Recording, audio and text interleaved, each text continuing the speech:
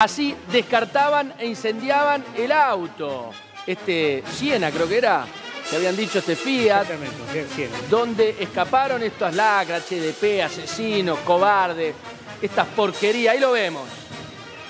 Así quisieron, eh, a ver, descartar el auto para borrar todo tipo de pruebas, para eh, que no pensaran en ellos.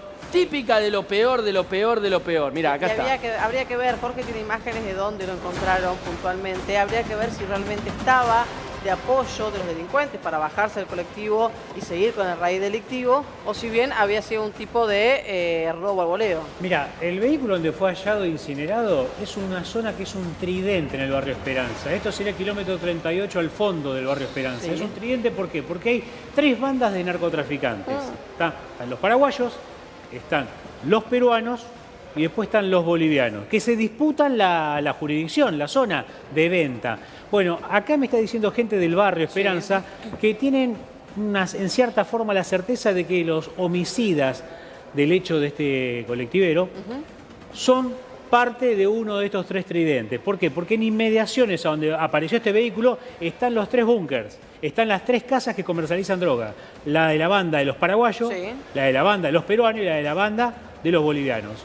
Dentro de la banda de los bolivianos hay un grupo que le dicen los tucumanos, los tucumanos, que trabaja padre e hijo en esa banda. Sí. Son los más fuertes y los más pesados del barrio. Pero les vuelvo a decir, los vecinos del barrio Esperanza, kilómetro 38 al fondo, donde apareció el vehículo incinerado, Sí. están cansados porque estos tres búnkers Sí. están haciendo desastre en el lugar. ¿eh? Bueno, eh, la verdad es que venimos de, de este lugar y venimos también del momento donde bajaban los delincuentes después de haber matado ¿sí?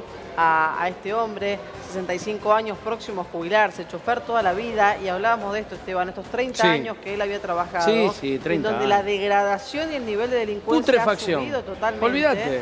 Y a, tal punto que mataron a un laburante por nada. Yo te digo, sí, la gente está preocupadísima, eh, fluctúa, ¿no? Por la inflación, por la economía y por la inseguridad todo el tiempo, porque es lo que eh, es, es la, es la vida misma, ¿no? Sale al supermercado, un desastre los precios. Sale a la calle a laburar, la matan o ve cómo matan a un chofer. Digo, no solucionamos nada los argentinos, porque hace cuatro años hablábamos ápero Macri, hace ocho hablábamos ápero Cristina, hace doce ápero Menem, hace veinte ápero Alfonsín. Y seguimos con lo mismo, viejo, y cada vez peor. Cada vez peor. Vemos esto, ¿no? De, de- del auto y, y con la impunidad que se manejan los chorros. Y son menores, y son. La verdad, no sé, estoy tan harto de esto, igual que los, que los eh, choferes La- de los colectiveros que ponen el cuerpo, ¿eh? Sí, la gente también está harta, obviamente, pero nada.